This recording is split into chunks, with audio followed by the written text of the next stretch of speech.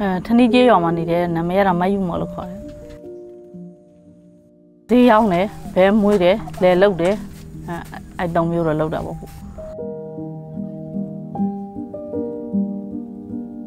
ခုဒီဆုံးကစဖွင့်တာတော့ဒီလိုတဲတဲသေးလေးနဲ့ပေါ့နော်တဲတဲသေးလေးနဲ့ဒီလိုစီစားငယ်ပြတ်ဆုံးဆိုလဲဒီလိုတပိတ်တာနှစ်ပိတ်တာမျိုးနဲ့တဲညောင်းရတာပေါ့နော်အဲ့ဒါဒီအိုးလေးနဲ့ဒါရင်းနှန်းစီထည့်ရောင်းတဲ့အိုးပေါ့ဒီအိုးမျိုးလေးနဲ့လေအဲဒီအိုးလေးနဲ့ထည့်ရောင်းတာပေါ့ဟုတ်လက်ကြခွဲတာနော်မျိုးသမီးဖက်ကိုဝင်တဲ့ခါမျိုးကြတော့နည်းနည်းဘ ഹു တုဒတော့ရတာပေါ့ကိုဒီတိုင်းနေတဲ့တဲ့ဆိုင်တော့အများကြီးဘ ഹു တုဒရရလေ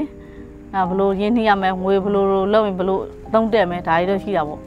အပြင်မှာဆိုဒီမှာဆိုခုက20ထိုး30ထိုးတွေလေ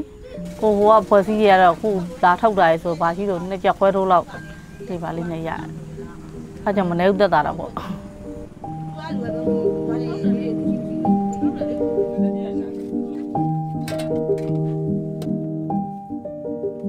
လူသဏ္ဍာန်ဖွဲ့စည်းကတသိန်းနဲ့6000ပေးတယ်လေအဲ့ရနဲ့ဈေးတင်ပြီးတော့ရောင်းတာပေါ့မှာတမောတစ်စီးဝယ်လိုက်ကောတစ်လားကို6000နဲ့ငှားစားတယ် မနှစ်ကတစ်နှစ်ကမှဒီနောက်ထပ်အသေးတစ်စီးထပ်ဝယ်ထား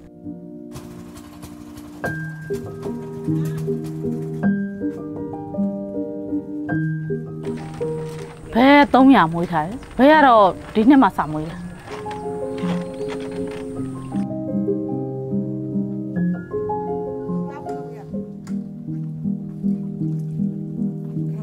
နှစ်နှစ်လောက်ဆူလိုက်တဲ့ခါမှကျတော့